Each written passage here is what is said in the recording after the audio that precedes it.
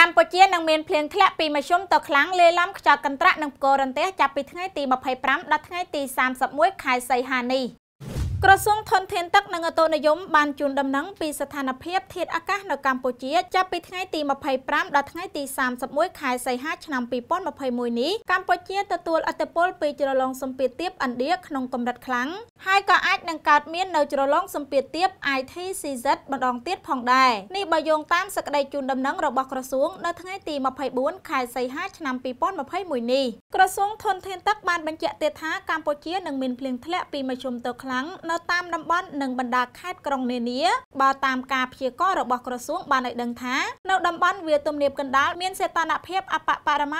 25ដល់27អង្សាសេ និងសីតុណ្ហភាពអតិបរមាពី34ដល់36អង្សាសេ ហើយអាចនឹងមានភ្លៀងធ្លាក់រាយប៉ាយពីមធ្យមទៅខ្លាំងនិងមានលាយឡំផ្គររន្ទះនិងខ្យល់កន្ត្រាក់សម្រាប់នៅតំបន់ជាប់ជួរភ្នំដងរែកនិងខ្ពង់រាបឦសាន មានសីតុណ្ហភាពអបបរមាពី23ដល់25អង្សាសេនិងសីតុណ្ហភាពអតិបរមាពី